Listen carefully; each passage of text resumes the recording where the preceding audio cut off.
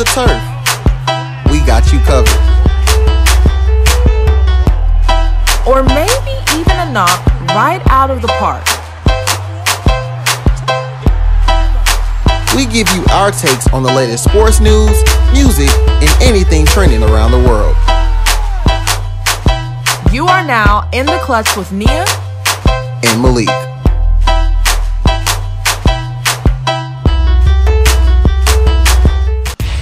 Is going on, guys? We are back. Episode 15. 15. Nia, Wow. come on, man. We getting Already? there. Already? This is a special number. Man, that's mellow right there. We going this the mellow episode, right? Mellow this the mellow. Oh, this the mellow mellow. episode.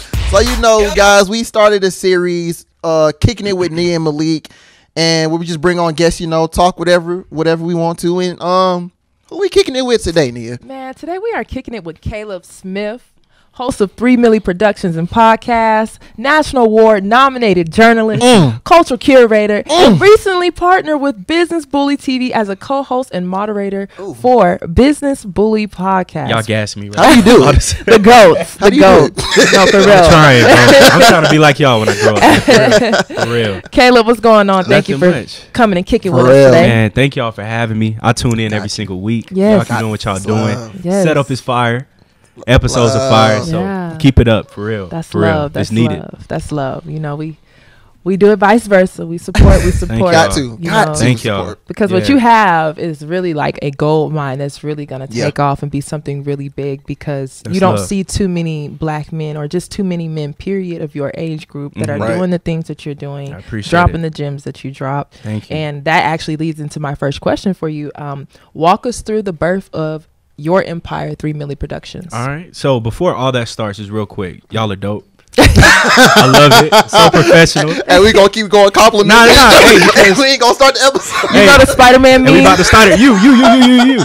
Nah, because real quick, the fact that you know Nia and y'all already had the questions laid out, Yeah. everything, Right, so Yeah. right. fire. Of Got but course. how um everything started was, um I've been doing podcasting since I think like 2015. Wow, you know, okay. since like my freshman year um, of college, and I always enjoyed having conversations Yeah. because even as a kid.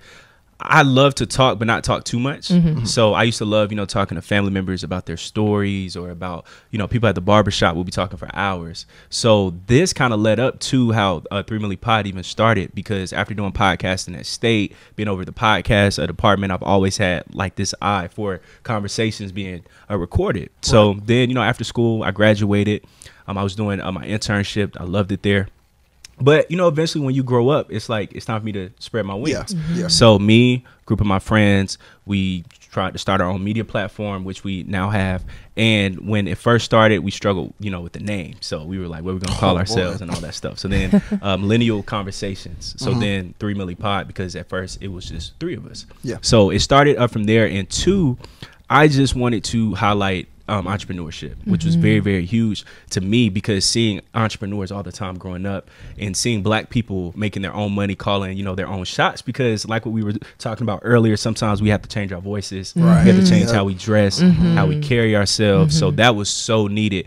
So I want to talk about entrepreneurship sports, just any and every type of thing that you could possibly cover. Right. But of course, business um as well, which was huge. So that's how I'm started. And right now, I think we're at like 35 episodes. So it's been Dope. really, really That's dope. good. That's it's been really, dope. Really dope. Thank y'all. Hey, you inspired me um, to start mine, start my Wow. little small media That's- company. nah, so not small. hey, it's, Nah. no, it's gonna get there. yeah, not definitely small. gonna grow. Speak that into existence. yeah, Yep. for sure. It's definitely gonna grow because you know the long term goal is to own my own production company. It's happening. So, It's you know, happening. and I'm glad that we did have that conversation earlier, just talking about how you know at one point when I first got in the business, I thought, well, I have to talk a certain way, and I can't wear my hair like Right. this.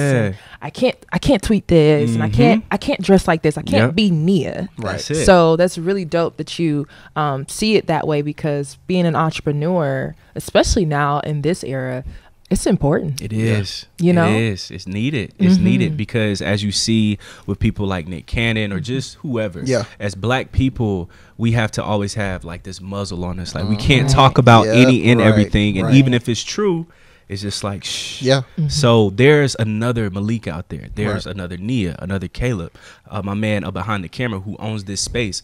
There's another version of us out there. So if we're our true, authentic selves, Right. Right. people they'll see that they'll attract to that. But if we're trying to switch up, change our voices, Right. how we dress, it's like I know Nia, right, right. I know Malik. Man, what? He ain't like that. That's what I'm saying. That's Yeah, what I'm saying. So yeah. We can be creating our own lanes and new avenues for people to make it right now during Yeah, this mm, time. true, So yeah, yeah, it's yeah. needed. That's oh real. man, this motivation. It's needed. Oh, nah, man. I'm trying, Good man. combo. Already. Good combo. Oh. Oh. So I I, know it. you got something um starting your IG. It's the Millennial Masterclass series. Yeah, uh, yeah. Just talk about that and what the impact has made so far. Yeah, uh, Millennial Masterclass series actually started from my girlfriend's idea because COVID happened and we were filming at the podcast studio. Uh-huh. And at first it was me and two other co-hosts. That didn't work out because sometimes people have disagreements on vision, all Right. that stuff. So I had to go back to the drawing board. I had to figure out how can we still stay relevant? How can we produce content? Uh-huh. Because right now I can't have guests come through.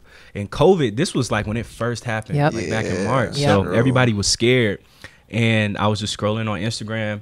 Um, I was telling uh, my girlfriend Sid, I was like, man, I don't know how we can post content. And she was like, you remember before you tour your um, Achilles back in December, you were going on Instagram Live. Yeah. You'll just be chopping it up with people. Right. I was like, okay. And then she was like, I can edit it for you. And Wow. she said you can screen record it because this was the time on IG when it was a screen on top of another screen and there was comments on there. Right. And then even if you screen recorded, it would still be comments on there. Mhm, yeah, So yeah. of course, you know, when you first start something, it's not perfect. Yeah. But one episode led to another, led to another.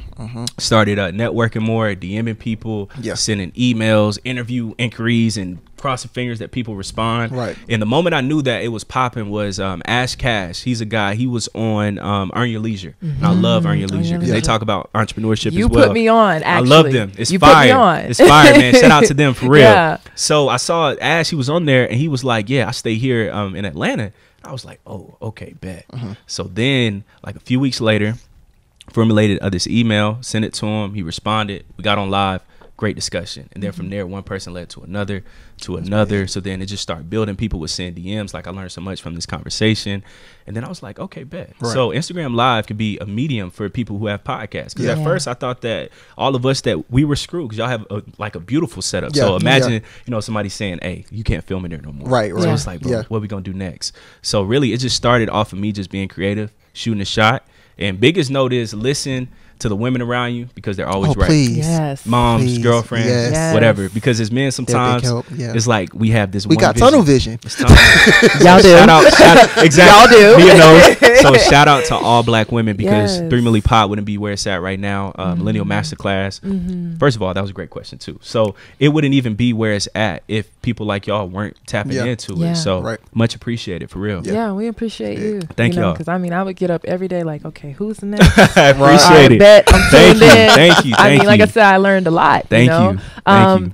And it's crazy because you know we are now thinking like, why didn't we learn about financial literacy in school? Man, what? Why Yeah. is that this not implemented into the education system?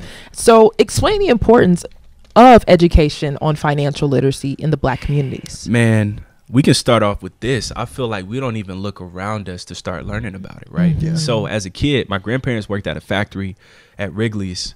I love gum. I chew gum all the time, but Yeah. it's like because of them. So they worked at Wrigley's. We would get free gum, but they worked there for like 40 years, oh, right? Oh, Wow. And they live like vacations. They stack their bread up. They are good. Uh-huh. And as kids, they always taught us the importance of saving money. Because my grandmother, she was a sharecropper growing up. Wow. Yeah, um, in Commerce, Georgia, it's like in the middle of the country. Oh, yeah. And one of our family members, um, it was uh, this uh, story that was told. He was beaten by uh, the KKK. So the fact that she was able to wake up at four in the morning or five in the morning, work her butt off, then worked at a factory for 40 plus years. But now she has bread stacked up. Wow. She knows about stocks, 401k, Yeah. all of this. And mind you, she's a regular woman just like anybody Right, else. like Yeah. Grandfather as well. My dad, he always taught me save a dollar, spend a dollar. So growing up, mm. even till this day, I'm gonna stack my bread and I'm going all money in. Yeah. Just like what you know, Nip, what he would say. Right. So I feel like our parents are around and we need to watch and listen Listen. because I Yeah. think sometimes like we're trying to find these financial gurus mm. they're gonna charge you five stacks just to talk to them Right. Yeah. so it's like first we, we need to take a step back. Look at Malik, look at Nia. Yeah. Y'all talk about it. You talk to your friends because there's entrepreneurs everywhere. Right. At church, You might at church, people sleep on church. You meet so many different people at church. Yeah. Who are doing it? Mm-hmm. So you never know who you could talk to. Uh, my guy uh, Courtney Seals, he's a great uh, business partner with uh, Killer Mike. Crippa Cola, they started that. Yeah. We went to the same church. He knew me ever since I was a kid. Entrepreneur. So it's people around you every single day. Right. I would just say ask questions. Like Yeah. at the barbershop start conversations. People need to study barbers.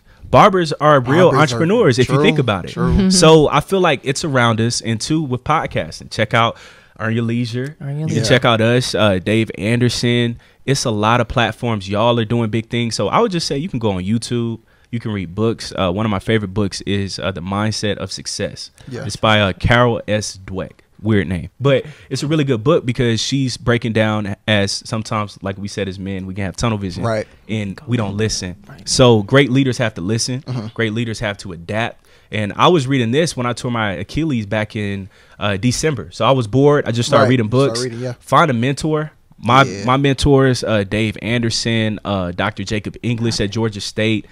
Just find black people around you who you know are successful. Y'all know if somebody's really about it. True. Right. So I would just say, just approach them, be yourself, authentic self, and just ask questions. Like drop the ego. We're all trying to learn. Yeah, Right, So, yeah, right. we all the same That's at where the it end of the day, starts. Yeah. Yeah. Caleb came in. He, He come, came came, in in and dropped with the gems.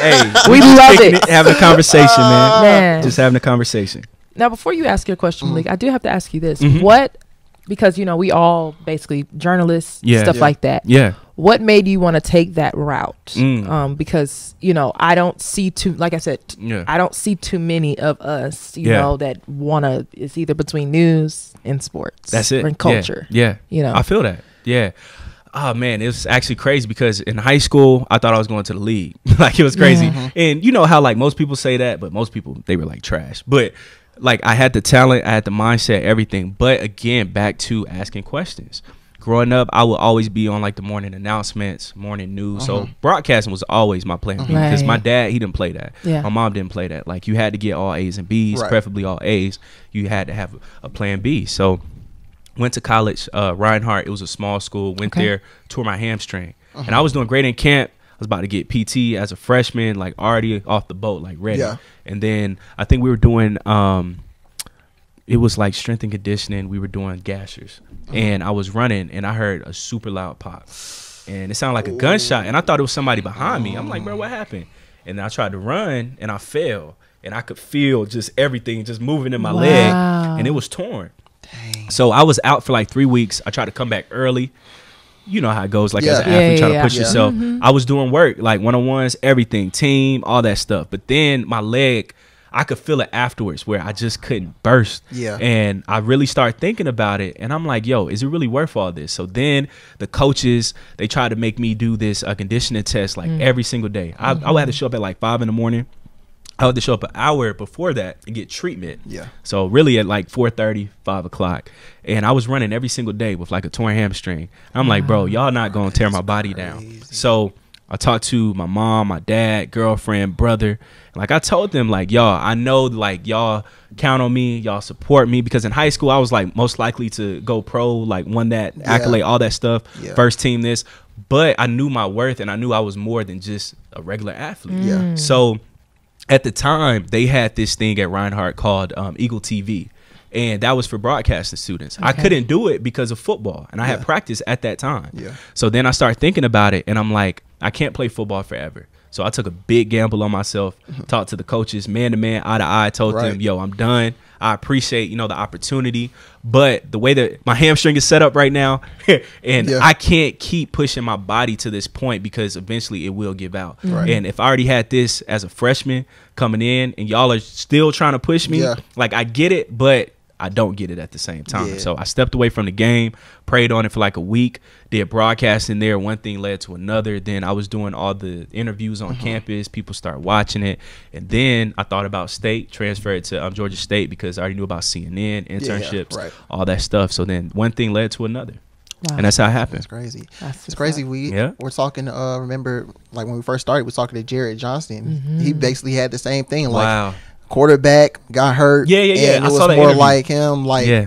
he didn't he didn't have a plan B. So Mhm. that's where he started to form his plan B. And Yeah. then Right. then now he's trying to help people find their plan. Right. Right. Love that He's doing other stuff. So Right. that's That great. was dope. Yeah. That's great. And I Thank you, think man. even as athletes, you know, going all these years, you know, we're told uh, ball is life, ball is life, mm-hmm. ball is mm-hmm. life. Mm-hmm. You know, just like how you real. said you didn't have time to do that. Nope. If I didn't play, if I played my, if I did play my senior year, I would not be sitting here with you guys today. Ain't that something? Isn't that crazy? Another athlete who didn't make it. Right. You feel me? And it just stops right there. yeah, So- exactly. Yeah. It's it's crazy how at one point you think like this is life like i in order for me to be successful i need to make it professional Mhm. and all this other stuff because my entire life it's been about this game i Uh-huh. don't know anything Ain't that else something? and Yeah. nobody has told me what i can do Right. That's what I'm and saying. it's crazy two years after i stopped playing basketball on the collegiate level now because i've played my entire Talk your talk. Life Yeah. I tell you no, real. real. you know, I played my entire life, That's and I didn't know who the hell I was. I didn't Yeah. know what I wanted to Big do. Oh, I knew I. I knew what I wanted to do. Right. It's always been broadcasting, Right. but Mhm.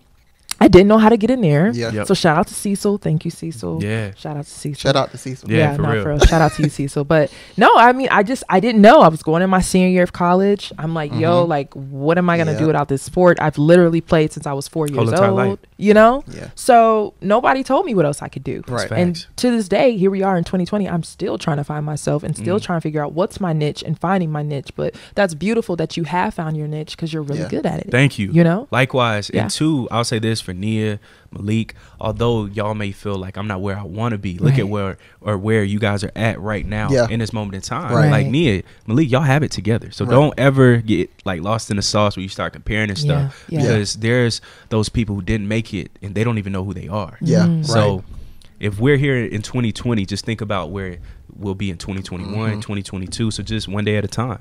I Real. think one big thing I've learned uh, from my therapist, like it's like you said, we always had real that quick one. though. Black man going to therapy. Hey, That's- respect. Yeah, I'm trying to get yeah. there.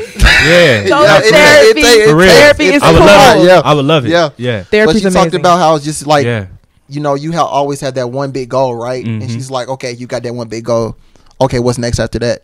It's like, and I was like, dang, you right. Like, okay, once I get once I get to where What's I want to be, is that it? Like, I What's still got so much more to So live more for, to like, life. and you don't even know it. yeah. And we're just focused on one thing. And two, even if you look at, um, I remember it was this show, um, America's Game. It used to come on Mm-hmm. NFL Network, and they used to cover NFL teams, their Super Bowl journeys. Yep, I and I remember about. Brett Favre said something that hit me, and I was a kid. 1996, Packers win. Um, I think they were in New Orleans, won the Super Bowl, and he was like, after I won, I felt empty because I'm like, Yeah. what's next? Right. Because he was like, Mhm. throughout the whole playoff run, it's like, okay, we just beat San Fran, now on to Philly. Yep. We just beat Philly, now on to New England in the Super Bowl. But then once that's done, what's next? Right. So that's what happens, in my own opinion, when you do it for yourself Yeah. because you just wanted that accomplishment. Right. But if you're doing it to to, to add value to inspire people, then it's like I gotta more. find something else. But if you just focus on that one goal, and then once you get it, like Yeah. if if you focus on making a meal, like before you die, once you make it, it's gonna be like okay, Yeah, I, I got it now. It's like, You see what, what I'm was saying? that? Yeah, yeah. But if if you're thinking once I make this, I want to create jobs, I want to create Mhm, wealth. yeah. Then that's a new challenge almost every single day. Right. So yeah, Right. Right. yeah. Wow. It's crazy. Dropping gems. Dropping gems. oh I man. appreciate it. So you know we got a lot going on right now in the black community. It's, Yes, sir. It's I mean it's been going on even before all this this year. But um, just talk about like how can we address the financial literacy gap among African Americans? Mm. I think, and first off, that's a very good question because people don't even ask those questions. Mm-hmm. First off, but I think it's very complex. Just like what Nia was saying, how she watches Earn Your Leisure. Yeah. Like you can watch podcasts and you can watch conversations, and it's that simple. And two, another thing is we have to stop relying on the public school system to teach us. That's where we Mm-hmm. yeah, fail. that, that's that's it right there. That's where we fail because Yes. I think as black people, we trust.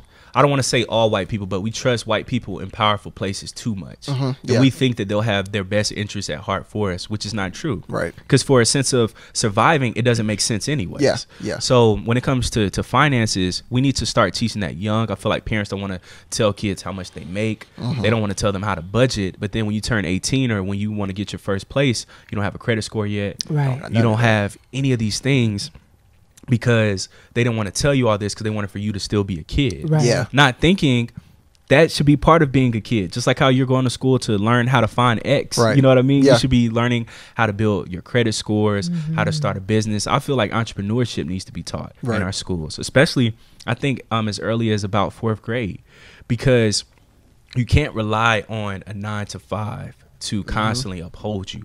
I work. I know everybody works. Right. But at the same time, you have to still have a vision for yourself. If this doesn't, if COVID happens, what am I gonna do? Right. Or if this happens, what am I gonna do? Or like Nia, what you're doing, doing a podcast and starting your own production company. Right. Malik doing your own thing. Right. So it's like everybody needs to have something going on for Right. themselves because that can be something that can create the the next Amazon, next Apple.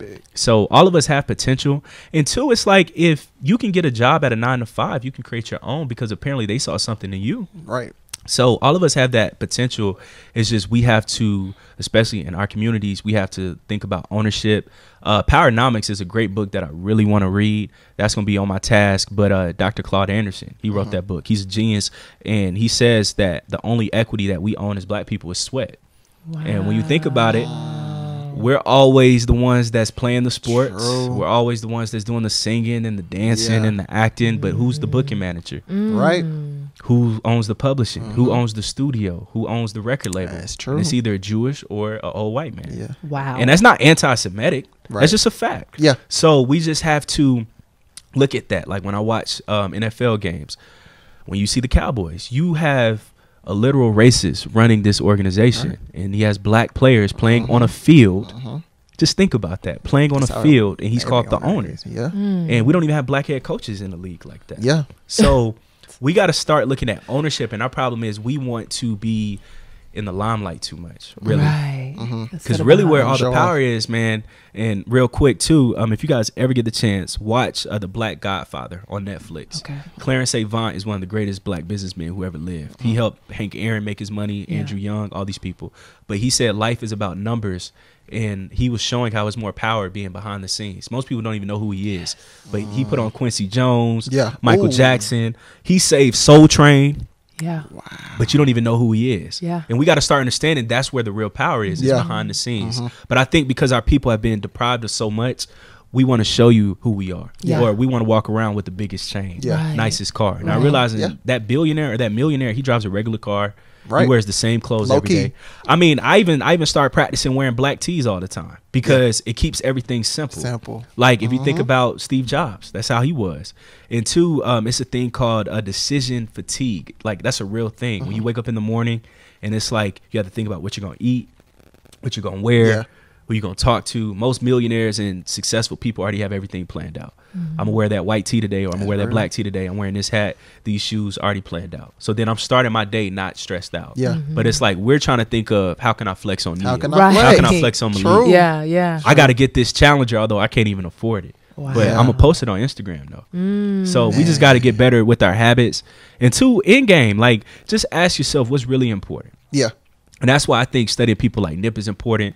Um, Ash Cash is a legend. Like if y'all even email him, like he will email you back. But he breaks down uh, financial literacy. He has a book called um, Hustlenomics. It's fire where he talks about Nip, how to break that down, and even I mean study Nip, all money in. Which is people think he was just saying that, but that's a fact. Like Yeah. everything that you make, use it towards something. Like Nia, everything that you make, use it towards that company, that camera, that laptop. Malik, same thing. And as you see, you're gonna flip that money, and then True. from there. And then last point, our drug dealers need to become entrepreneurs because you're running a Fortune 500 company. you really are. Facts. really are. real. No, That's You have great entrepreneurial skills. Yeah. You know how to do uh, relationships. You know how to go through language barriers with people who speak Spanish when they're getting coke. Like people don't think about that. Like Right. on the show uh, Snowfall. I love that show. yes. Think about it. Buddy was young, going to Colombia, getting Yeah. dope, and then flipping it and knowing how to talk to somebody who has a gun pointed at them. Right. Going to the CIA, knowing how to talk to them, Yeah. getting dope from them. Yeah. Knowing knowing how to keep up with money before Wells Fargo has an app. Right. We talking about in the eighties where he has to call the bank and check. All right, I got five million a day. Okay, I'm gonna use that for this. Imagine if you ran a business, man, a legit business. Wow. That you didn't have to go to prison for. You feel me? but we throw away our brightest minds sometimes, not realizing that so and so he became a dope boy because he realized his worth. Why would I work a nine to five when I can make that in a day? True. He's just making a business decision. Yeah. But we got to provide jobs, like as you see in media. Nia, I promise you, 15 years from now, 10 years from now, probably five, you'll be having employees. You're providing jobs. Let's Yeah. go. Y'all with the podcast, you'll be providing jobs. Mm-hmm. So that's what we have to think about is do it for somebody other than Other just than us. us. Yeah. Yeah. It comes down to that. That's real. Yep. I gotta walk out real quick, man. well, well, well, well. nah, hey, I appreciate Caleb y'all. came in and preached today. Yeah. I'm sitting here in appreciate y'all. I'm telling you, because you know what, you y'all. made a really good point earlier, just saying like how we as Black people, you know, we want to be in front. I know at one point Mm-hmm. I'm like, ooh, I want to be the next Cari champion. I want to be the next Jemele Facts. Hill. Mhm. I want to be on the front of the camera and stuff like that. But you know, I, I was telling you um, before we actually got on, and I was just like, I went through those two internships, you know, in the news business. Because at one point I wanted, you know, start to do local sports Mhm. reporting and then work my way up to be on ESPN Yeah. or a major network. And then it took for me to have those two experiences at a small market and a large market to realize this ain't it. He is Yeah. like, bro, this whack, man. This is Shut up. not it. Yeah. I'm not getting paid much. I Mm. have to, and I'm not knocking anybody yeah, yeah. that Right. You're just talking about for for yourself. for Yeah, myself. right, yeah. It's not what I wanted to do. Yeah. Nah. I and it, it took me to realize, like, girl, like you can do whatever you want to do. Right. Facts. Yeah. And I didn't even appreciate the beauty of production Mm. until I started creating my own content. And I'm like, yo, like it's fun. it's fun. Yeah. I enjoy it. Like the other night, I was up to six o'clock in the morning creating a video. But enjoying it though. Yeah. loved it. But if you Every were staying up it. till six for Channel Eleven, type in a news script, you'll be like, bro, this is lame. This is not that you gotta bend the edges. Nah. and It's not make sure it. you don't say this, this, See, or that. That's what I'm saying. Yeah, it's You not know? you. And see, look, I'm telling y'all, and for um, everybody that's tuned in, think about this. Although it will will have those hard moments where Yeah. it's like, man, this is tough. Yeah. Know that we have to do this because for the next line, it'll be easier. Mm-hmm. Fact. Because for us, like we said at state, we go in. There's there's no Malik, there's no Nia, there's no Caleb. Where somebody's showing us, yo, you don't have to do hard news. Yeah. You could talk about culture, you could talk Mhm. about sports, you could talk about business, and you can dress how you want to dress. And as you see, what does everybody want now? A podcast. Yeah. What does everybody Right. want now? Their own platform. So now we see the people that's on the channel two, channel eleven trying to come in our lane now. Mhm. Why? Because it's more lucrative. Like, Yep. um, who's my man? I can't think of his name right now. Joe Rogan. okay. Mhm. Oh, Signed yeah. a hundred million dollar deal. Yeah. Mhm. Mhm. A hundred Yep. million for Yep. a podcast. For a podcast. Joe Budden, he started this trend making I think five seven. Yeah. And then uh, Gillie and Wallo, they got one for like three mil. Mm-hmm. So think about it. Podcasting is where it's at. Creating your own production company is Right. where it's at because you own that. Right. As you see with Cari Champion, ESPN, chewed her out, Yeah. spat her Yeah. out. Jemele Yeah. Hill, same thing. Yeah. Stephen look at that A, he done been spanked a few times. Of course. Yes. So know that it's just like playing sports. You're just there until they don't need you anymore. Right. Yeah. So it's always best to create your own platform. Mhm. I promise you. No, yeah. Amen. No. Yep. Thank you for the nobody but inspiration. yourself. Now I appreciate y'all. Um, so going on into some sports talk, last Mhm. week the Washington football team hired its first uh, black president in NFL history. Yeah. Not to mention, NFL has been around for hundred years.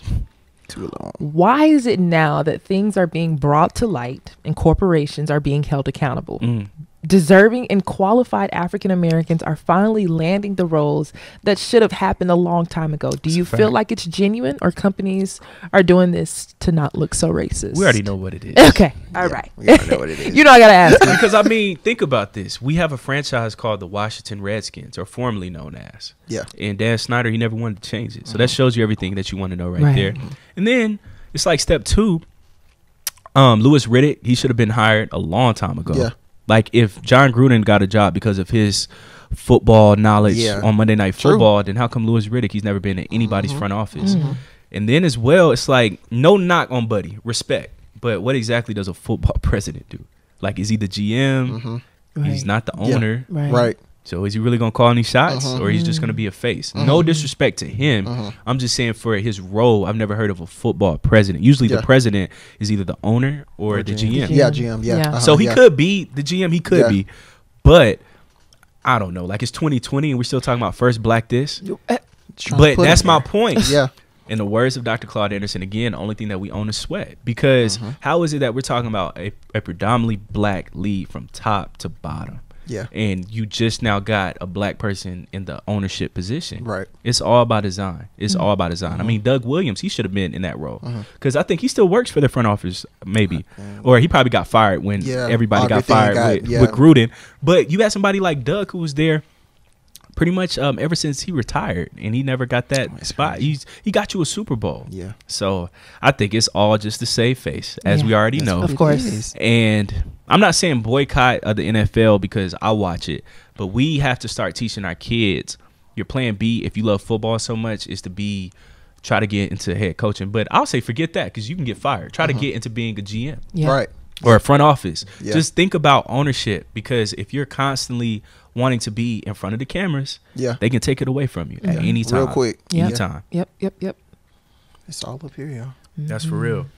So in 2000, not last year, basically, uh, Toronto Raptors president Masai Ujiri, you know, he was involved in that incident Mhm. with the police officer. Um, but the footage was released last week, Yeah. showing that the officer was the one that you know attacked him first. Terrible. So, what are your thoughts on that? And why is it so hard for you to think? For what do you think? Like, why is it so hard for the police officers to take accountability for what they're doing now? Because they're doing what they're supposed to do. Yeah, That's what we don't talk about. Like, Nee, I saw you in the protest. That was fire. Like, people have to understand we have to do things like that because it's necessary.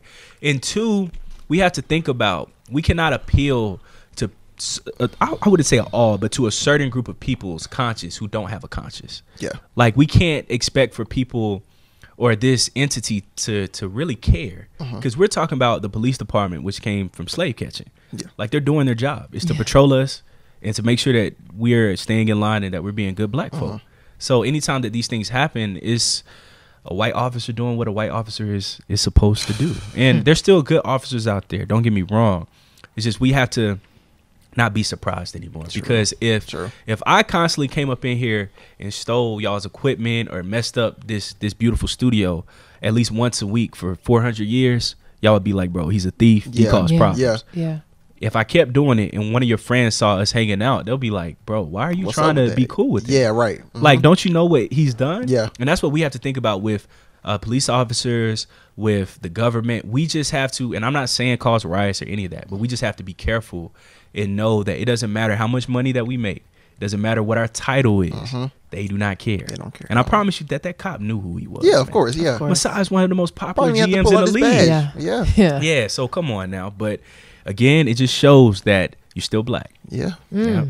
What What does uh Kanye say? Yeah. He's still a jigger in the coop. Man, that's how it goes. That's how it goes. I'm telling you. Mm-mm-mm. Now, why do you think? Uh, because I just read that Colin Kaepernick still is not being picked up by a team.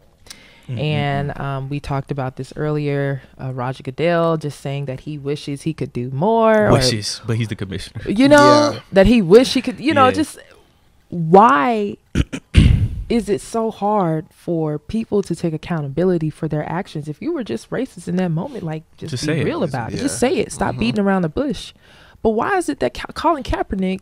The only thing this man wants to do is play football. Simple, You know, simple. I just want to throw the rock. Yeah, like, that's it. That's it. That's that's, it. it. Mm, mm, mm. Yeah, it's it's a term called uh, white fragility, and um, it's a great book too. Check that out um as well. It was a great book, but it breaks down how racist white people can't look at themselves in the mirror, because if they do, they know, like, yo, I'm tripping, Yeah. or I'm crazy, or what I'm doing is inhumane. Mhm. So they have to constantly ignore it. So by saying I wish, it's him showing fake uh, like accountability, like I'm trying to act like I care, but Right. he doesn't because you have the power, but you aren't using that white privilege Yeah. to leverage power for black people. Right. Because you could have just signed him, or you could have gave him a role or one of those president roles at Yeah. the NFL Right. front office. Right. There's so many different things that he could have done. So he can't say that he wishes. Like, bro, you literally blackballed somebody Right. and said that you weren't doing it while it was Mhm. happening. While it was And then after it happened, he was like, all right, I did. Yeah. That's crazy. That's crazy. So And it took know. till what 2020 for everyone to admit that. Yeah. You know, he So, got yeah, blackballed four back in years? four years. It had to take for a black man to get killed Mhm. by a police officer who was kneeling on his neck. which is very weird think about that. Yeah. Yeah. You know, but hey, they always say what goes around must come back Right. around. And the thing is, is that you you could have went all these years thinking that you got away for doing Colin Kaepernick that way, But you're not. but you're Yeah. not. You're not because just being real, NFL probably won't happen this year. I've been saying that for a don't while think because so? too many players, too much traveling, and lot, yeah. they're trying to say that the 11 positive tests that came back, they went back and uh, recanted on that and said that it was Mhm. like a lab issue. Yeah, the false positives or what's Yes, false negatives, that something was like crazy. that. How Yeah.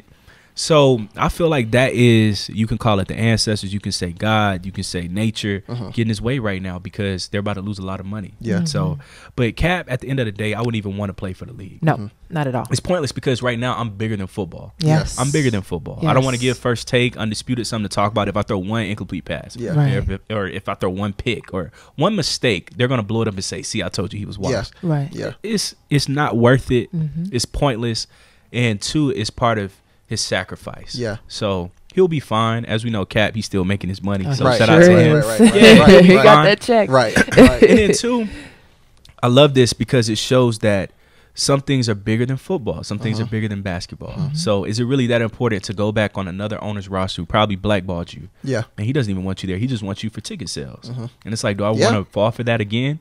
Nah, I'm good. So he'll be good. He'll be fine. Yeah. Yeah. I know when you talked about when we talked about earlier, like you know, we like to be in the light, but we don't ever think about you know what about being that owner. What and I feel like Cap, he was like, okay, I don't really need this football thing. Let me. Mhm. He just signed a deal with uh, Nike. yeah. That's so Yeah. yeah, like Nike, I'm Disney. straight. yeah, you don't need that. And yeah. would he have signed that if he was still playing football?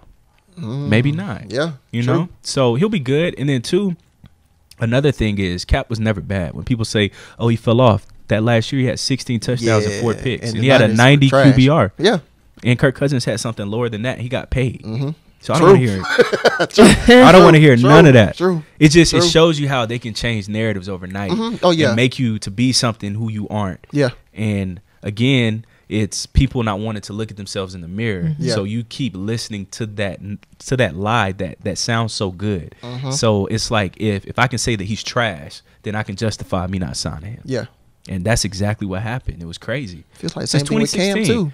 With Cam, that's my guy. like yeah. So him. again, we only see this with black quarterbacks really. Mm-hmm.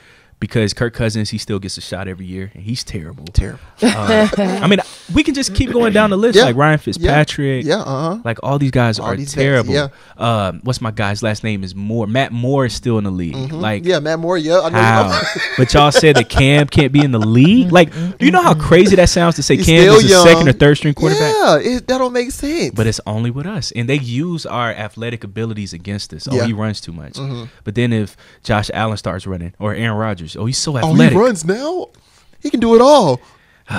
It's crazy. Sports is crazy sometimes, man. I tell for you, real. hypocrisy at its finest. Oh, so I know recently, you know, you've seen all the uh, high school athletes. They're trying to get into HBCUs now, I not going it. to those other colleges. How important is that for our culture? hmm Great question. Y'all ask great questions, by the way. HBCUs are so needed, man. Because I Yeah. grew up around them. Like my brother, he went to FAMU. I used to love going to FAM to like drop off his stuff. Like I used to love just go over Yeah. there. Like you see all the people walking Right. around. You see the sororities, the frats, the football players, uh, Morehouse homecoming, of course, and Yeah. Spelman. So being exposed to that growing up and people who went there and seeing them become, you know, successful people, I always thought about, well, hey, if we look at the history, right, most of our five star athletes back in the 70s and in, in the 60s and some in the 80s were going to these HBCUs. Mm-hmm. This uh-huh. mm-hmm. is a true story. Bear Bryant in Alabama started losing to teams that start getting black uh-huh. players. And they said he was an avid racist. So most black Alabama fans uh-huh. know your history about Alabama and Ole Miss too, and Georgia. But he was losing and they pretty much said we need to go sign some N words. Yeah, yeah. And they went and did that, and then Alabama became Alabama again. Yeah. That shows you our power that they took us from HBCUs to these major D1 schools. And it shows you that if we go back to those HBCUs, Uh-huh. think about how much money that would generate for those schools. Morehouse, by the way, whoever's running the money at Morehouse needs to needs to go. Gotta but go. but the, the fact that Morehouse has to constantly ask for money Mm-hmm. and their endowment I think is 47k a year or Yes. Spelman has to ask for money or schools like Clark. Like I love Clark. Uh, Yeah. one of my mentors, he actually stays here on a Snapfinger Road, so shout out to y'all. Yeah. But Street. he was uh, my professor at State, and now he's over the media uh, department at Clark. Uh-huh. We used to go to Clark like every other weekend, check it out, media department. Their conditions that they had to deal with was so bad compared to a school like Georgia State. But they had music journalism, unlike Georgia State. They had hip hop journalism. Yeah, we don't so got none of that. HBCUs have the programs. It's just the funding, funding. isn't there. Yeah. And our talent pool, even in, in, in journalism and media, needs to be going to Mm-hmm. HBCUs because then you can bring attention to those schools. You can bring resources. But our problem is sometimes we feel like if we're around white people, then we made it. Yeah. And we have to throw that out the window and realize that we can flip those economics overnight. Like imagine if Nia, you went to an HBCU. So Mhm, imagine if five star athletes who were going to schools like UConn or Tennessee Mm-hmm. were going to Alabama State. That's big. Mm-hmm. It would change. So it takes people like Mikey, uh, Mikey Williams, Mm-hmm. Yeah, you know, true, saying that. true. Excited. And as y'all saw, he's getting all that flack now. So it takes people standing up and saying, "Yo, instead of me going to uh, UGA, I want to go to Morehouse, or Yeah. instead of me going to Alabama, I, I want to go to Howard or Right. Alabama State." It takes that one person One who person. has to make a sacrifice, Mhm. but it can all change overnight. It Yeah. can. Yeah. Hey, we can turn this thing around. Facts, facts. Um, how can the African American community move forward and progress to make our own communities better and create, build, Mm. fix, so Mhm. that we don't have to deal with what we've dealt with for over the past 400 plus years of mistreatment? It's been a long time. I feel like we got to stop listening to the news. Watch the news. I'm not saying don't watch the news. Yeah. Everybody that's tuning in, but take from it what you can get. Right. Mhm. and know because if we watch the news i'll be like nia all black women just twerking out here So i'll be like malik all Right. black dudes just out here scamming uh-huh. Right. or, or, or flipping dope Yeah. Right. and all we do is kill each other Mhm. Some of that is true but most of it isn't Yeah. like even right now think about what y'all are currently doing with this platform Mm-hmm. like most people don't talk about there's so many black people getting into podcasts and entrepreneurship Yeah. building companies so if we just look around us Uh-huh. and we start understanding our value and two we don't know our history that's where we Oof. keep messing up like Yeah. Georgia State used to make me so mad because um, at the honors college, I was in the honors college all throughout Georgia State. I worked there, Uh-huh. I did their media there, and I would always be the only black person. Uh-huh. My mentor there, uh, Dr. Jacob English, my guy, shout out to you. He actually had me um, work for him, and mind you, this is when I first transferred. And again, this is about us getting in those spaces and not Yeah. doing it for us. He saw me. He was like, "We need somebody to, you know, run our media." He created a position for me and got me in there. So when I started getting in there, we used to talk about history all the time, Uh-huh. and we used to talk about how at Georgia State. Have you guys ever heard of um, Alonzo Herndon before? One of the first, I think he's one of the first millionaires in America. So when you look at Auburn Avenue, that was like his stomping grounds. Okay. Atlanta Life Insurance Company made millions. Black man. Nobody talks about that. The Georgia State Honors College building was his office building. And there's nothing talking about that except for a little plaque on a step that you walk over. And it's off in the corner. Yeah. This man is one of the first millionaires ever. And he was a black man. And it's right here on Georgia State's campus, which graduates the most black people in America. And it's across the street from the Auburn Research Library for African Americans. And nobody talks Nobody about talks this. about. And nobody talks about how he built a company from the ground up. Mm-hmm. And this was like in the early 1900s. He owned barbershops, everything. So where um Aderhold is, Yeah, no, yeah, yeah. he had barbershops lined up over there Wow. all black owned. What? Nobody talks about this. So 1906, uh, we had um, a race riot right where like Aderhold was. It happened because they were jealous about how much money all the black people were making. What? Nobody tells you that. John Wesley Dobbs, another one. We mm-hmm. see Yep. like the mm-hmm. road names, mm-hmm. moneymaker. Yep. We have so many. Auburn Avenue, they said, was arguably more lucrative than Harlem at the time. Nobody talks about Not that Not to mention that's where Dr. King grew up too. and his family had money. You Nobody know? talks Yeah. about that. and John Wesley Dobbs was the grandfather of Maynard Jackson, who was the first mayor. How do you think Maynard See. grew up in such an affluent Uh-huh, community yeah. because of what his grandfather did? And we're talking about late 1800s, early 1900s. So Tulsa, Black Wall Street, we have these examples. It's just we don't know our history, so we think that we Yeah, don't yeah. come from anything. Right. Right, yeah, So yeah. I feel like we tap into our history. Again, if we just have conversations just like this, everybody's smart. Yeah. So we'll be good. Yeah, We'll be good. And I think me and Neil, we talk about this a, a lot. Like when you're in elementary school, middle school, like these history books, they not really telling you. Mm-mm. They not telling you the truth. Not They're doing all. what they're supposed to do. Right, yeah. Yeah, because Malik, Nia, think about this. If I told y'all that there was multiple black millionaires in the early 1900s, and if we had this in history books, and I Uh-huh. told you about Madam C.J. Walker, like all these amazing people, you'll be like, so if they started business with no social media, think about that. Madam Uh-huh. Yeah. C.J. Walker was doing door to door sales Right. and had saleswomen. Right. No social media. She's keeping up with the money, the sales, all Uh-huh. That stuff. And we have social media now. But we don't know like who came before us. All we know is Martin Luther King, Abraham Lincoln, he freed us. bam, Right. and we're here. Freedom. Freed us, Free, right? yeah. So if Mm-hmm. if we just learn our history, if we just again, I'm telling y'all, and and it's not to be you know uh, redundant, but it simply just takes conversations Uh-huh. and going on social media. Just follow young entrepreneurs, Right. Watch podcasts, have these conversations. I mean, right now, y'all even being in the studio, my man who's filming, he's an entrepreneur. Yeah. Yeah. And that's why when I was saying, yo, like, what equipment are you guys using? Right, I was yeah. like, talk to him, conversation. Yeah. Yeah. So it just takes being humble and talk to your grandparents. Like nobody thinks about that. Our Yeah. grandparents, grandparents, parents were slaves. Mm-hmm. You can learn so much from them. Yeah. So just ask. Oof. Just ask questions. Uh-uh. Not to, oh, and just to throw this out here, Yeah. there's only 15 black billionaires right now. As we 15. 15. How many white do you know? I don't even know. Probably Probably double. blow blow them out. Yeah. Yeah. Yeah, But that's another thing. I feel like our black billionaires, some do a lot, but most don't do enough. not Yeah. enough. Because imagine if, all right, so that's $15 billion. Uh-huh. Imagine if y'all leverage that towards the community. And I'm not Mm. talking about True. Donations. Donations. Yeah, yeah, yeah. donations, yeah. donations, In the words of Dr. Umar, Donations. donations. you only gave me ten dollars, but it's it's not that, and that's another thing. Like it doesn't like philanthropy isn't needed anymore. Mm-hmm. We have so many black organizations. We have so many boys and girls clubs, Mhm. but you do Yeah. it because it's easy. Easy. Yeah. Because I remember uh, Carnegie or one of them, he once said that he was going to build parks and music halls because people would think about that when they think of his name instead of thinking about like his poor working Yeah. uh, conditions for employees. Mhm. Rich people do that on purpose. Because then with Oprah, we can say, well, she gives Morehouse money. And Right. my thing is, if Nip, and, and I'm going to say this till the day I die, if Nip was able to do all that he did with like Vector 90, Marathon Store, as Uh-huh. you saw when he was murdered that day, he was putting one of his boys on who had a felony. He was putting him on, bro. Yep. He was going to get him a good job Yeah. at his store, again, creating jobs.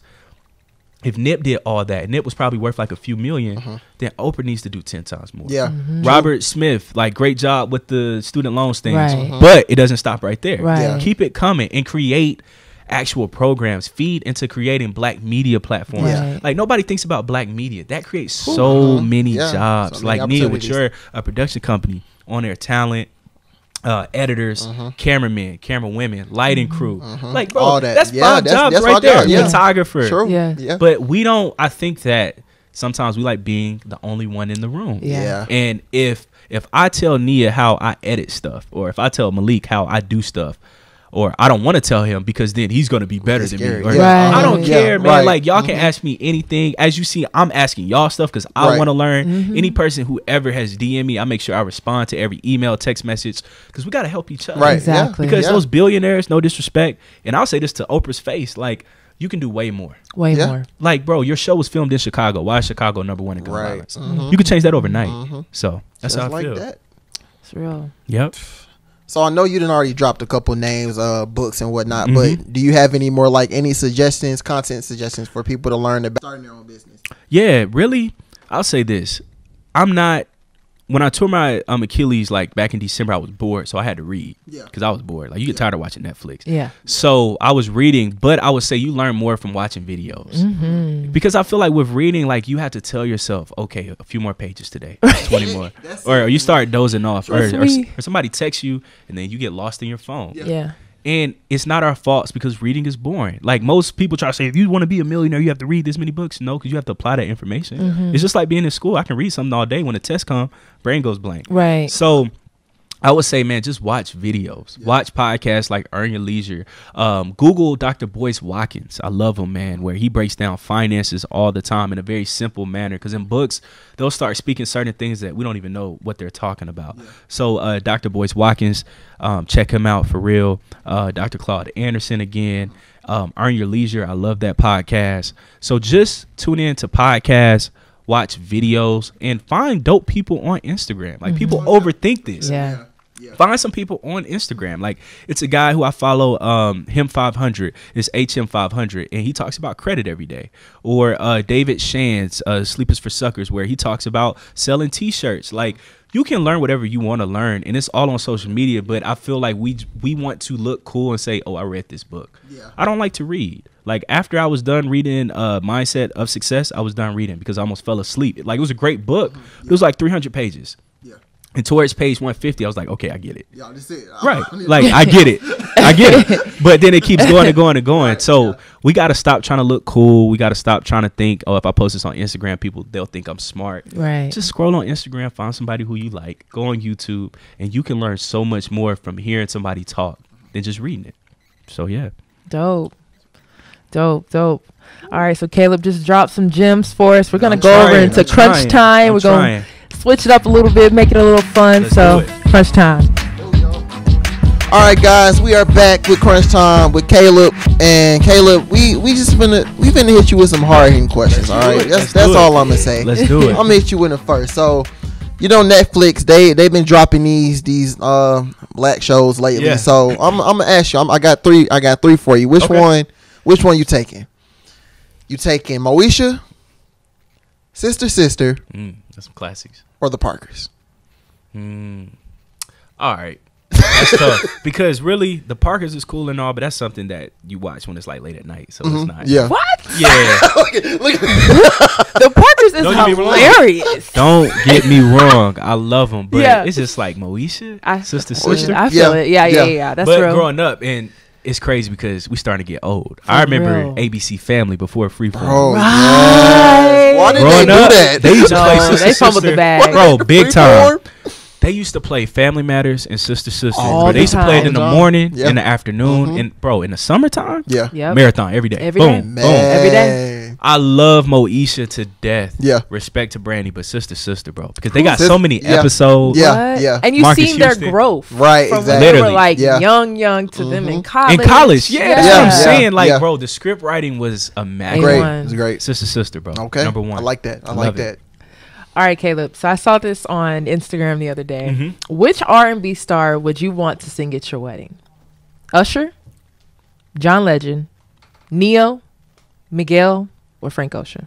All right, all of them legends in their Mm-hmm. own rights. Ne-Yo, nah, I, I love Ne-Yo. Yeah, Songwriter, yeah, yeah. better Nah, as a songwriter. nah. Yeah, yeah, yeah. John Legend, he'll be doing too much like Too- yodeling. and yeah. Usher has been my guy ever since I was a kid. Yeah. man. Like growing up, and True. you want to get like That a was girl's my guy. attention.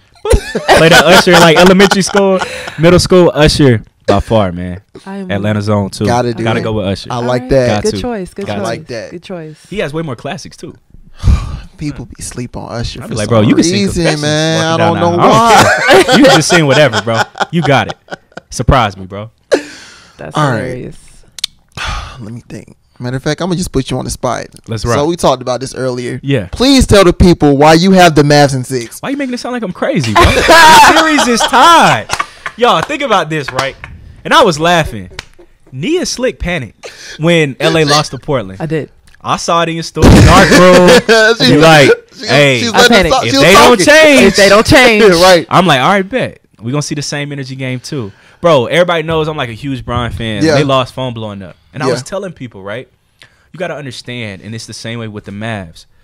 Guys who got the sauce, like you saw it um, on the last dance, Jordan let Reggie get some games. True. And what he say? with a cigar in his mouth, with the back. Right. He can still talk when the score is 0-0. Or if it's tied in the fourth, Boy, Jordan I was respect crazy, you. right. He said you could talk big after one game being Right. up by eight. Yeah. And that's my thing with uh, the Clippers.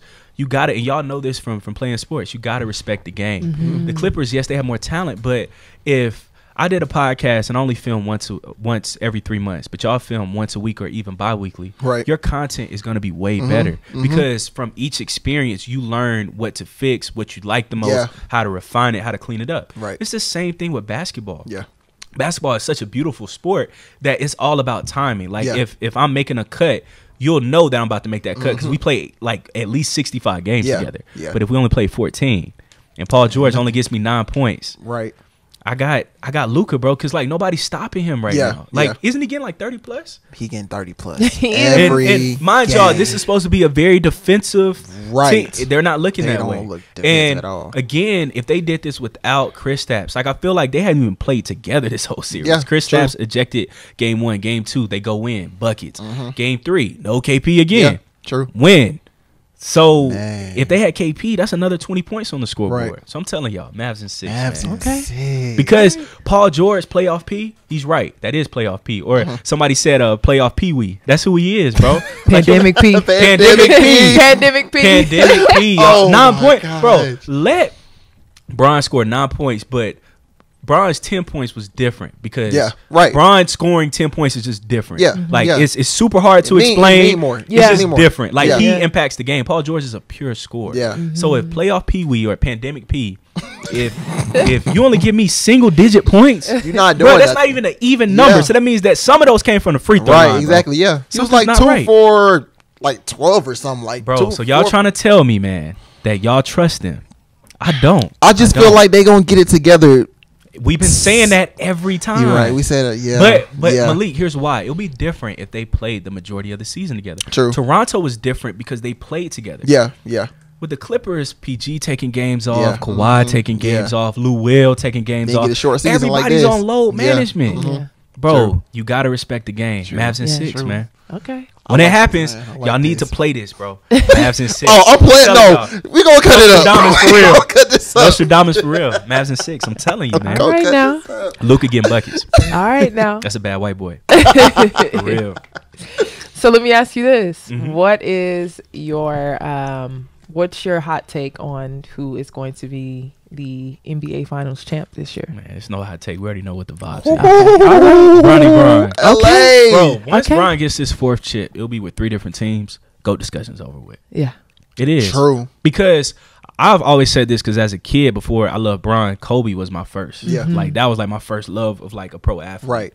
And I felt like Kobe surpassed Mike. Uh-huh. Right. Because if we look at it, Kobe had his first chip at 22. I mean, Right. Yeah. Mike didn't get his first at what 27, Mhm. and Kobe was coming out the West. True. Nobody Yeah, talks tough. about that. He went to four straight finals and almost four. Bro, do you know how crazy that sounds to say almost four peated by That's 25? tough. Right. That's crazy. And I went five for seven in the finals, and I had to play way better competition. Yeah. No knock on Mike, but think about Kobe. He had to get through San Antonio, Uh-huh. through Phoenix, Yeah. through Portland when they had Scottie Pippen, Yeah. Yeah. Stoudemire, Yeah. uh, Grant. Like, bro, they just had squads. And then the finals, bro, like you saw the Pistons.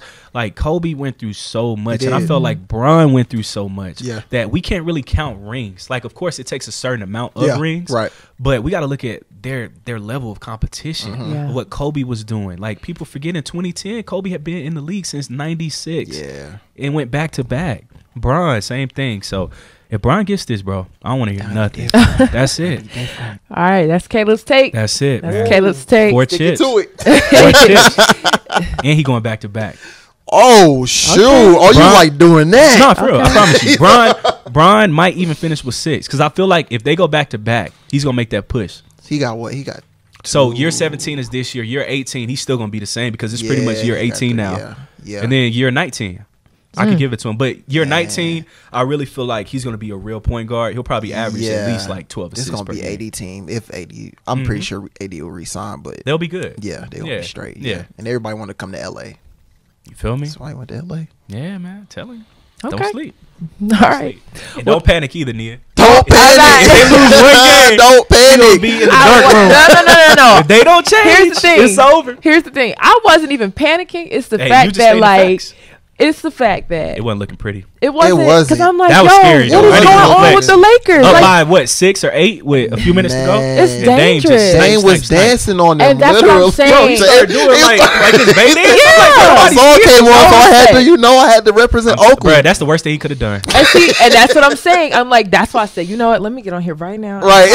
because I'm like, y'all can't play around because Dame is on a different Yeah, level playing right now. yeah, you playing, don't bro. want to mess Yeah. with Dame. That man went off with a dislocated finger. Right, You know what I'm saying? Yeah, yeah. He's upset. He's coming for Yeah. blood, and I'm like, y'all could play around with any other team, Except if for it that was boy. Sixers. Oh, You Yeah. do it like- with, with Memphis if, if they got in You or know? Phoenix, right. but You're not playing with the Blazers. that's the best A seed ever, bro. Yeah, no. yeah, they're not Hard. supposed to be an eight seed. Nah. That's the They that's probably a five thing. or a four. Yeah, No. exactly. Yeah. No. OKC is eight seed. Yeah. Yeah. They, it should be three all. I'm gonna be Yeah. honest. They, I don't think they should have got that game last. But Come- Nia, you yeah. were right though. Yeah, Like you can't play around. I was like that. scared. Yeah, But I trust Bron. It's just it's scary when you see an A seed pop Yeah. off Yes, in game one. exactly. I knew Brown wasn't gonna go down 2-0 anyway. I knew they was Paul Paul No. Pierce second mad right now, man. Yeah, oh yeah, Talking Paul about Pierce it. was I don't hating. hear no more goat talk. He lose a the hater. series. Oh, all right, He is a hater. Bet. Please shut up Right. before we walk you back. Before we walk you back. To the Him bathroom. and Kendrick mm-hmm. Perkins. Dude doing on himself, man. Get him Literally. out. Get him out of here. bro. Get him out of here. But that's crunch time, y'all. We're about to wrap up this episode. Stay tuned. All right, y'all, we are going to wrap it up today. Kicking it with Caleb. Caleb, man, motivational, inspirational, all this. Yo, I appreciate y'all. I- I knew it was I appreciate coming. y'all. Thank you. I love it. man. I love this show, man. Thank y'all. It was fun. Yeah, Caleb, where can everyone follow you on Instagram? Yeah. Where they can uh, follow Three Milli? Mm-hmm. Um, how we can that. watch you? Yeah. all that stuff. Yeah, um, if you guys can follow uh, my personal page at Mind of Solomon, so that's M I N D O F Solomon. Uh, three milli at three milli pod, three M I two L's I pod. Um, YouTube, uh, three milli uh, productions. Check us out, subscribe. Y'all can tune in on Instagram. Uh, we're trying to start filming again, but you know how COVID be. Right. Trying to get people to come in. So yeah, so um, in the meantime, just check us out. I'm on Instagram, uh, Millennial Masterclass Series, Instagram Live. You can tune in anytime. It will be posted on YouTube. So yeah, Instagram, YouTube, all that good stuff. Yep. Dope, Thank you. dope. Thank Caleb, Thank thank, y'all. for coming through. Thank Thank y'all. you for I appreciate y'all gem. having Yeah, Yes. yeah, Y'all and you know we'll, what y'all doing. we'll definitely have a part two. for Yeah, sure. hey, Got anytime, you gotta come back. Bro, Got anytime I'm telling y'all, I'm only a phone call or a text away. That's right. Anytime, That's for real. right. I appreciate y'all. That's right. Respect. Thanks Yeah. for coming through. It's going up. Thank y'all. But hey, that's episode 15, y'all. Y'all already know the drill. Follow us on Twitter and Instagram at In the Clutch Pod. That is I N Clutch Pod. I am Nia Simone. You can follow me on Twitter and Instagram at Nia on Air. And I am Malik Brown. You can find me on Twitter and Instagram at underscore Malik ATL. Y'all, episode 15. Caleb. Appreciate y'all. Man. Thank y'all. We out, y'all. Thanks for y'all. tuning in.